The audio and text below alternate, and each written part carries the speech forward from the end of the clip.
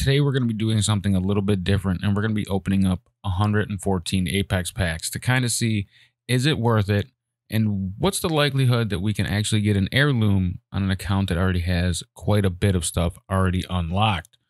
Now, I don't know what's going to happen, but I bet it's not going to be as awesome as we hope. However, if you want a chance to open up some Apex packs of your own, then make sure you smash down that subscribe button and ring the notification bell because I'll be dropping different posts this week in the community tab that you can get notified about.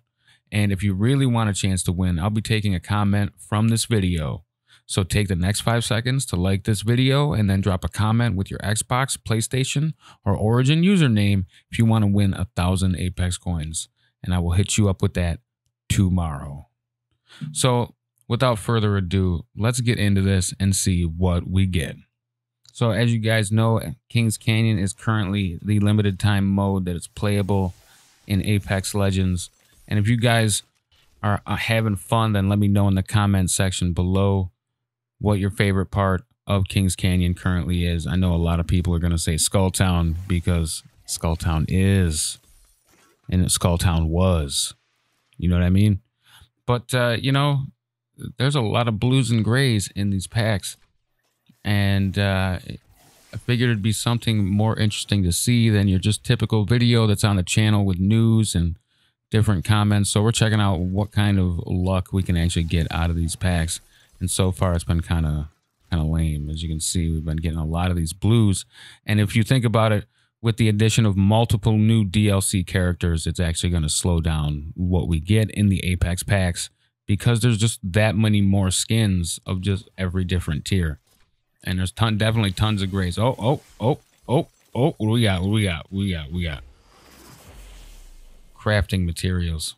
No, I don't have anywhere near all the legendaries unlocked, so that's ridiculous. Now, a gray, a blue, and a purple, I can't complain, right?